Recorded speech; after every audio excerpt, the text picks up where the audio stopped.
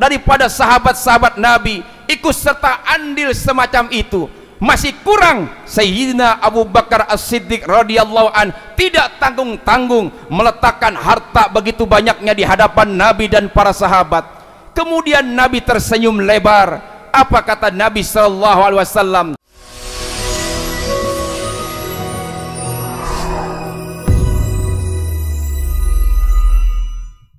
Innal hamdalillah نحمده ونستعينه ونستغفره ونعوذ بالله من شرور أنفسنا ومن سيئات أعمالنا. من يهد الله فلا مضل له ومن يضلل فلا هادي له. أشهد أن لا إله إلا الله وحده لا شريك له. وأشهد أن محمدا عبده ورسوله لا نبي بعده اللهم صل وسلم وبارك على سيدنا محمد وعلى آله وأصحابه أجمعين. أما بعد فيا عباد الله أوصيكم ونفسي بتقوى الله فقد فاز المتقون. Ittaqullaha haqqa tuqatih wa la tamutunna illa wa antum muslimun. Faqad qala Allah Ta'ala fi kitabihil mubin wa huwa asdaqul qailin. A'udzu billahi minasy syaithanir rajim. Bismillahirrahmanirrahim. Ayabtaghuna 'indahumul 'izzah fa innal 'izzata lillahi jami'a. Sadaqallahul azim. Hadirin hamba Allah Segenap umat pilihan yang berbahagia. Di siang hari yang penuh makna ini Kembali mari sama-sama kita merenung sejenak.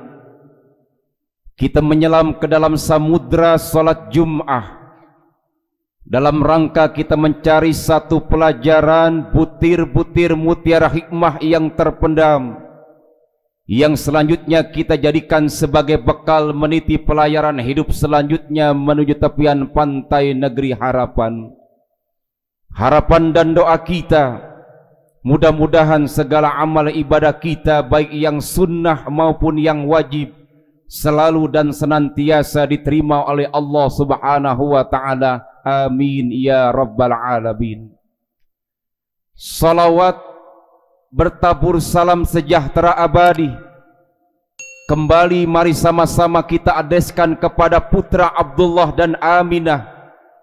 Jantungnya kota Mekah, intannya kota Madinah. Dialah nabi satu-satunya yang kita harapkan syafaatnya nanti di yaumil kiamah. Mudah-mudahan kita berdoa satu lantai dengan beliau menuju tepian pantai surganya Allah Subhanahu wa taala. Amin ya rabbal alamin. Hadirin hamba Allah segenap umat pilihan yang berbahagia. Setiap manusia yang hidup di alam dunia ini tentulah ingin merasakan nikmat dan manfaat dari sesuatu yang dimilikinya saat ini. Saat ini kita berada di rumahnya Allah Subhanahu wa taala. Duduk bersimpu bertatakan sajadah beraneka warna. Lisan kita tidak pernah kering kerontang mengagungkan kebesaran asma di hadapannya Tentulah apa yang kita kerjakan pada kesempatan siang hari ini kita ingin memiliki satu nikmat dan manfaat dari sesuatu yang kita kerjakan saat ini. Begitu pula kita memiliki semacam radio namun telinga kita tuli. Demikian pun bicara masalah iman. Apa arti iman itu kalau sampai di bulan Rabiul Awal di penghujung detik-detik 2020 akan meninggalkan kita kita belum bisa merasakan manisnya lezatnya indahnya beriman kepada Allah Subhanahu wa taala Orang yang benar-benar bisa merasakan manis lezatnya beriman kepada Allah. Manis rasanya ketika membela nama Nabi yang saat ini benar-benar dicemokan oleh orang-orang kafir. Manis rasanya ketika kita bersimpuh, duduk husu, merenung sejenak, menatap kehidupan kita di hadapan Allah Subhanahu wa taala. Manis rasanya ketika kita mampu mengeluarkan infak untuk perjalanan ibadah kepada Allah Subhanahu wa taala. Bahkan lebih manis rasanya ketika di penghujung kehidupan kita Allah izinkan kita meninggal dalam keadaan husnul khatimah mengucap kalimat la ilaha illallah Muhammadur Rasulullah sallallahu alaihi wasallam. Hadirin hamba Allah umat pilihan yang berbahagia.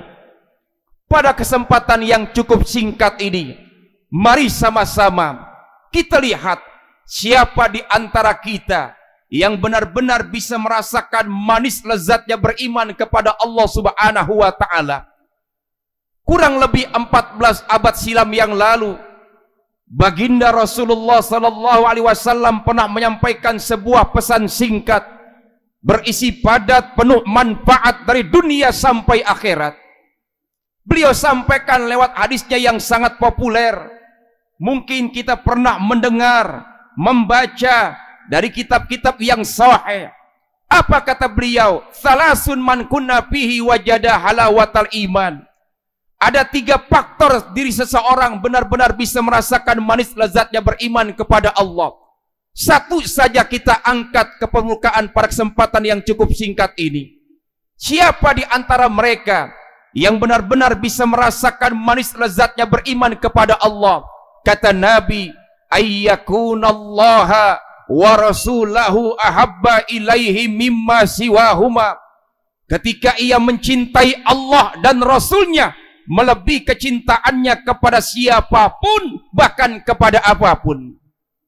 Hadirin yang berbahagia, kita diciptakan oleh Allah subhanahu wa ta'ala dalam ciptaan yang penuh dengan sempurna ciptaan dengan sebaik-baiknya ciptaan Allah laqad khalaqnal insana fi ahsani taqwim.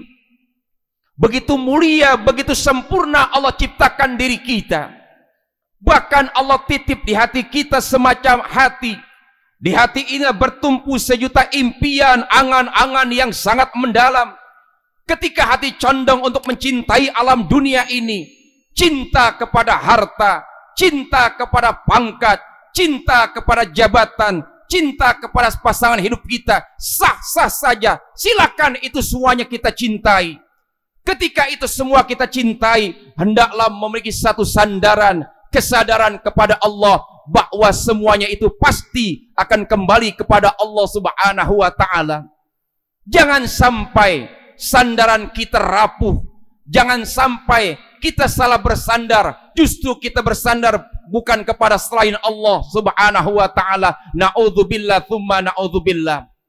Banyak di luar sana. Orang-orang yang sandarannya rapuh. Bukan lagi Allah menjadi tempat sandaran yang kuat.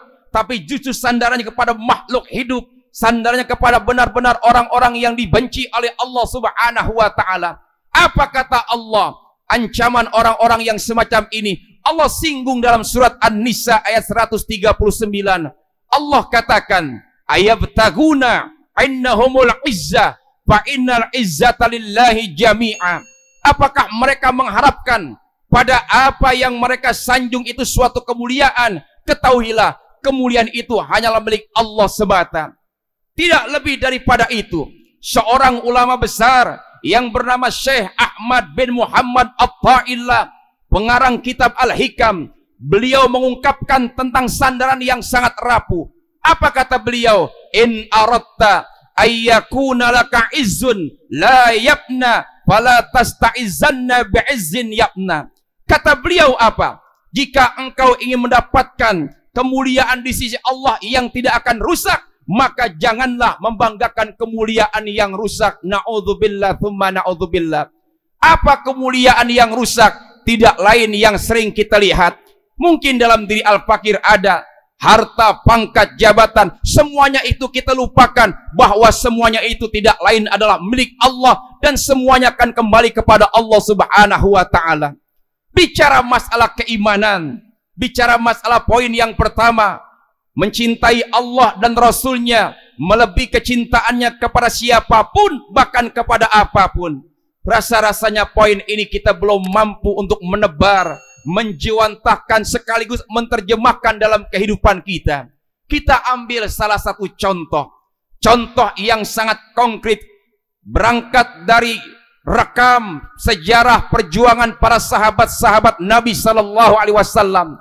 Tidak tanggung-tanggung membela nabinya, tidak tanggung-tanggung membela agamanya, tidak tanggung-tanggung membela Al-Qur'annya. Kenapa? Di depannya terlintas, tersiap daripada surganya Allah Subhanahu wa taala. Sayyidina Abu Bakar As-Siddiq, seorang tokoh terkemuka, seorang panutan di zaman Nabi sallallahu alaihi wasallam, pernah menyumbangkan harta begitu banyaknya saat Nabi mengadakan mobilisasi dana saat akan terjadi perang tabuk saat itulah umat Islam harta yang dimilikinya sangat kurang seluruh daripada sahabat-sahabat Nabi ikut serta andil semacam itu. Masih kurang Sayyidina Abu Bakar As-Siddiq radhiyallahu an tidak tanggung-tanggung meletakkan harta begitu banyaknya di hadapan Nabi dan para sahabat.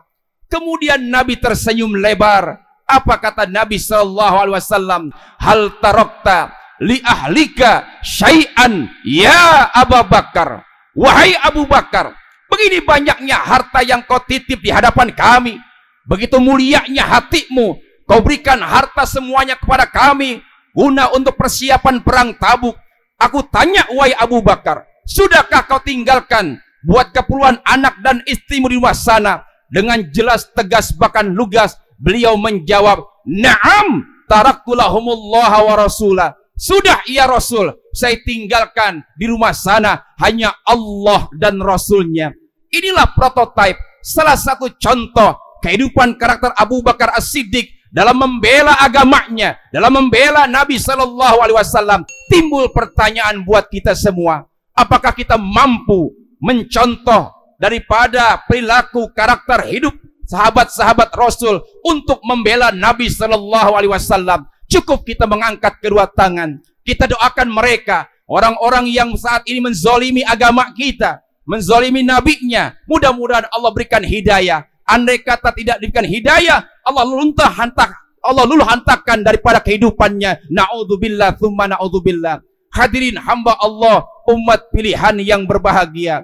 Mudah-mudahan satu ini kita bisa praktekkan sedikit demi sedikit dalam menuju kehidupan yang lebih abadi kembalilah kita bersandar hanya kepada Allah Subhanahu wa taala. Sesulit apa pun kehidupan kita, Allah tetap ada dalam kehidupan kita. Allah selalu memonitor dalam tanduk dan detak-detik kehidupan kita di dunia ini sampai di akhirat nanti. Mudah-mudahan akhir kehidupan kita nanti senantiasa diakhirkan dengan kalimat la ilaha illallah Muhammadur Rasulullah sallallahu alaihi wasallam. Amin ya rabbal alamin.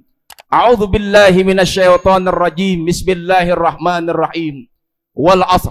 Innal insana lafi khusrin illa إلا الذين آمنوا وعملوا الصالحات وتواصوا بالحق وتواصوا بالصبر. بارك الله لي ولكم بالقرآن العظيم. ونفعني وإياكم بالآيات وذكر الحكيم. أقول قولي هذا وأستر عظيما لي ولكم ولسائر المسلمين والمسلمات والمؤمنين والمؤمنات فاستغفروا إنه هو الغفور الرحيم. اللهم صل وسلم على سيدنا محمد عبدك ونبيك ورسولك النبي الأمي وعلى آله وصحبه وبارك وسلم.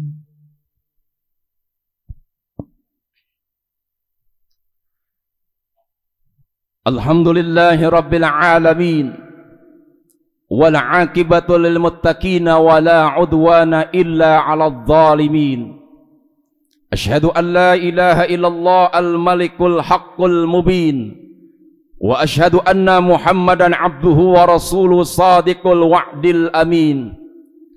Allahumma salli wa sallim ala sayyidina Muhammad abdika wa nabika wa rasulika nabil ummi wa ala alihi wa sahbihi wa barik wa sallim الحمد لله رب العالمين والعاقبة للمتقين ولا عدوان إلا على الظالمين أشهد أن لا إله إلا الله الملك الحق المبين وأشهد أن محمدا عبده ورسوله صادق الوعد الأمين اللهم صل وسلم وبارك على سيدنا محمد وعلى آله وصحبه أجمعين أما بعد فيا عباد الله اتقوا الله ما استطعتم وسارعوا إلى مغفرة من ربكم لعلكم تفلحون وقال الله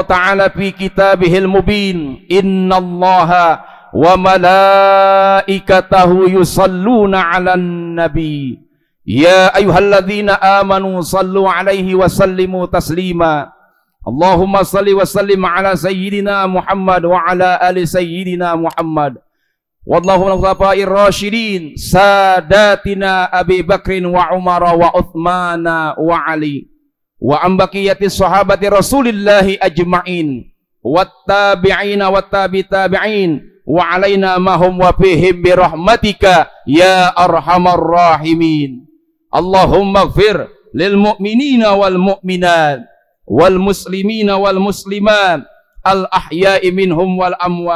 هم وفيهم برحمتك يا أرحم الراحمين اللهم اغفر للمؤمنين والمؤمنات والمسلمين والمسلمات الأحياء منهم والأموات إنك سميع قريب مجيب دعوات يا قاضي الحاجات ربنا اغفر لنا ولإخواننا الذين سبقونا بالإيمان ولا تجعل في قلوبنا غلا للذين آمنوا ربنا إنك رؤوف رحيم ربنا آتنا في الدنيا حسنة وفي الآخرة حسنة وقنا عذاب النار والحمد لله wa ita idil gurba wa yanha 'anil fahsya'i wal munkabal yaitu kum la'alakum tazakkarun wa la zikrullahi akbar.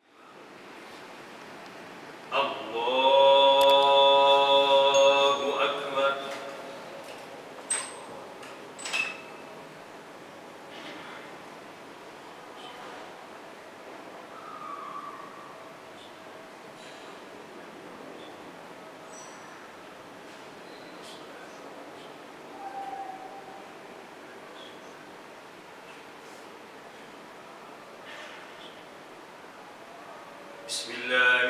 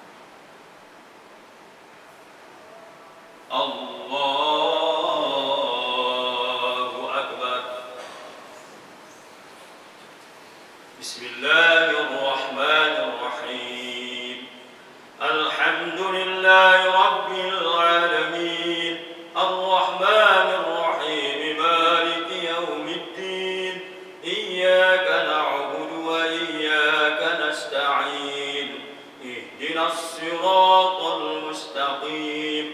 صراط